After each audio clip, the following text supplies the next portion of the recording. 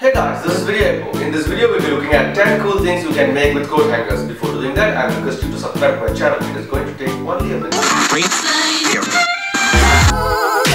These coat hangers cost rupees 120 for a dozen. That makes it 10 rupees each and there are cool things you can make with them. It's made of aluminium which is a very durable and a malleable metal. You can twist these, bend it and just get creative. You want someone to hold their torch while you are at work. Make a quick table lamp or a lamp holder. Wrap it around the torch and make some loops for the base.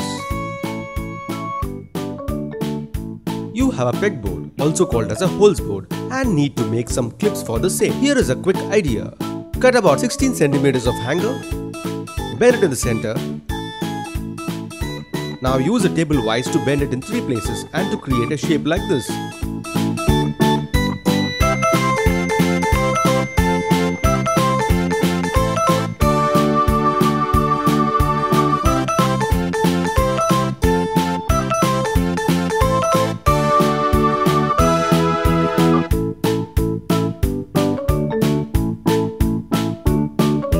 This is for hanging individual tools. Get creative and you can make a wide variety of them.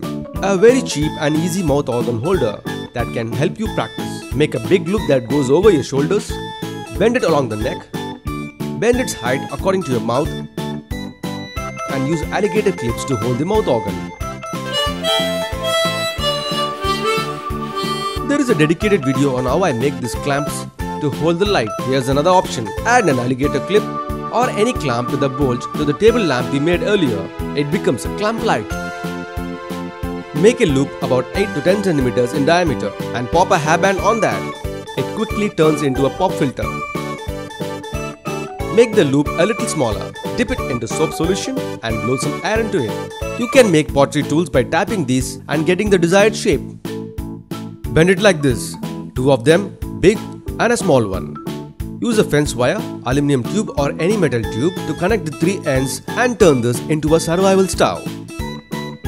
What if you have other things to hang besides a shirt? We can convert one coat hanger to hang multiple things.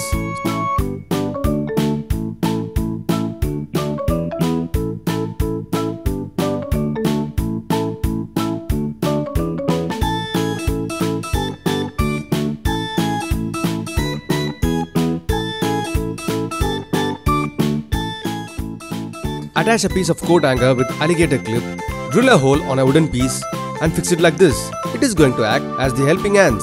You can also make a soldering iron stand by looping the hanger and fixing it like this.